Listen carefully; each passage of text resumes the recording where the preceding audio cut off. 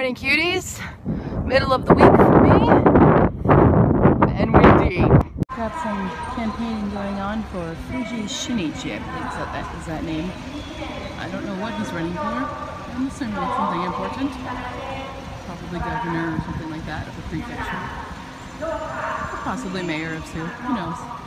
Who really knows? I don't know. Japanese politics is very confusing. Walking home, I I can't even express today in words. I'm just, I'm left exhausted and a little bit more stressed.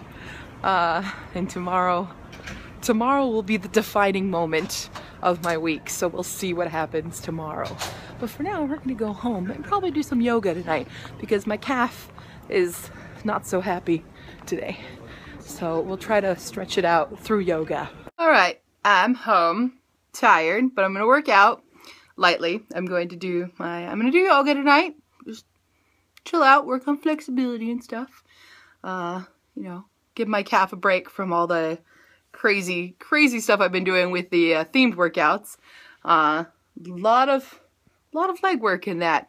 Uh, but anyway, so hair looks nicer, right? So I had to brush it out. So one thing I wanna, I wanna be a girl and complain about something girly, not girly, but you know, hair. I'm gonna complain about hair. So I like putting half of my hair up, but I hate taking it down because for some reason, I don't know, ladies, does this happen to you? Or men too. Men put their ha uh, hair halfway up too, so if you have long hair as a guy. Um, does it get tangled in the back and then you can't get it out of the of the hairband? Like I'm not using a rubber band. I'm just using a regular hairband but it hurts so much to get it out and you end up like tearing your hair. Do you have a secret? Does do any of you know how to not do that? Do you have a secret method to not have that happen to your hair when you put it half up because it hurts into a, it's a half ponytail. That's what I mean. I'm not like putting it in a bun or anything. I'm just like taking some and it's having a little bit of a ponytail. And it hurts. Oh, the back of my head still hurts just from brushing that out. Ah, oh, anyway, that's my complaint of the day, aside from anything else I could complain about. But I don't even want to talk to you guys about the crazy day I had at work today because I'm just so exhausted from it that I don't even want to think about it. Which is why we're going to do yoga. Another reason we're doing yoga tonight. Help calm, de-stress. Yoga, so useful. it's exercise and a de-stressor.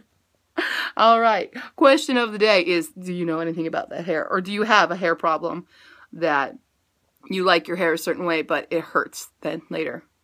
it's painful to brush out or something. I don't know. Do you have a hair problem? What's your hair problem? If you have a hair problem. If you have hair solutions, please put those in the comments below. And I will see you guys tomorrow. Bye.